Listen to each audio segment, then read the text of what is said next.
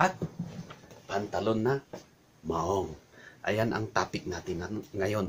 Paano natin i-preserve, paano i-style, at some knowledge in technologies regarding sa mga jeans and denim. In number one is paano siya ginawa, saan siya ginawa, tanim. Lahat po tanim.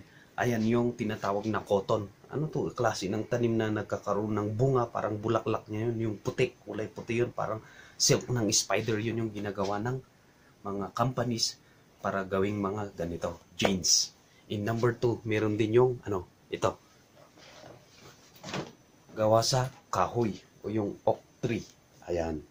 Kita nyo, gentlemen, oak tree. Napakatibay po to gawa sa kahoy. Pwede po siyang gawing mga maong din. Eh, Levi's ang isang gumawa pero kaso lang tinigilan na kasi nature lover ang mga to eh. Ayaw nilang pumutol na ng kahoy. Mahalin daw ang nature. Parang ganun yung reason nila. Ba't nila tinigilan? Kaya swerte nyo kung nakabili kayo ng mga maong pants or jacket na gawa sa kahoy na oak tree. Alright? In yung pangatlo na saan siya galing, made of plastic in pang! Nylon pambigti. Ayan, nylon. Pero, pero yan mga Muslim ganun na mga jean is waterproof. Waterproof pang uh, pagtag-ulan yun. Okay? At ah, dagdag kalaman din na meron din yung nabili akong ganito ganito.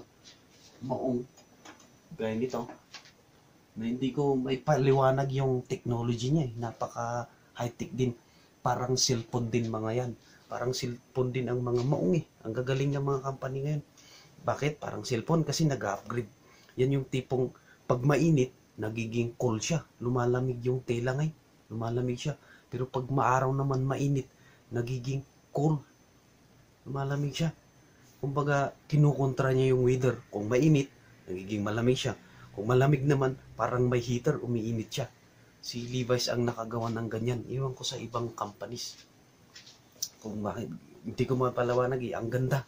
Kaya kung bibili ng pantalon, tignan nyo rin yung mga technologies niya, yung mga mga naibibigay. Meron pa ngayong wash-in wear na madaling labhan, madaling matuyo. Ayan, high-tech ngayon, high-tech. Pati maong ginagawa na, hindi lang sa cellphone. And number three is, jeans and denim are not made or tough for water. Yan, yun, waterless. Patunay yan. Ibig sabihin, ang purpose kasi nila dyan is that ma-preserve nyo yung design, ayan, color, and texture niya. Ayan, kaya avoid washing your jeans, gentlemen.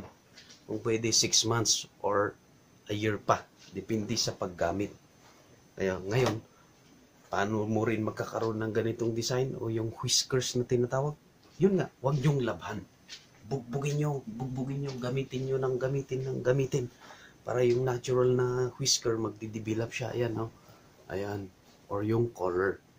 Parang pudpud siya. Yung iba kasi ginagawa, sandpaper, ginagasgasan pa. Sinisira yung mga design para lang magkaroon ng ganyan, no? Ganyan. Mga whiskers daw. Pero mas maganda, bubugin nyo sa paggamit. Okay? Next is fitting. Tatlo lang. Pag sa jacket, ganyan. Hmm.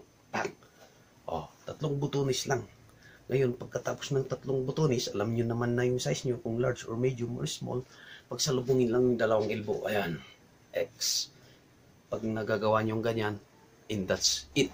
Napakagandang fit, fitting yan. Ganyan mag-fit sa jeans. Pag sa pantalon naman, hilain nyo lang, hilain nyo lang sa may paa.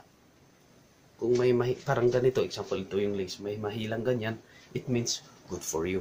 Yan ang tamang pag-fit sa pantalon. Tignan nyo na lang sa aking vlog yung nakaraan. Alright?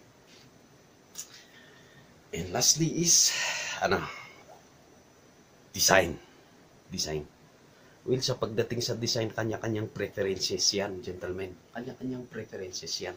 Kung anong kursonada nyo. Doon na lang kayo, alright? Either blue or or black. Basta importante dyan ang pagpurma din. Dapat ganito kontra. Black, blue. Tapos yung pants, green. Basta ang contrast dyan, ah, magkontra. Hindi yung blue yung jacket, blue yung panloob mo, blue na naman yung pantalon mo, blue na naman yung sapatos mo, hindi to military or uni uniform tayo. Alright? Basta magkukontra yan. Okay, gentlemen, thank you for watching and give me one of this and see you the next round. Sayonara.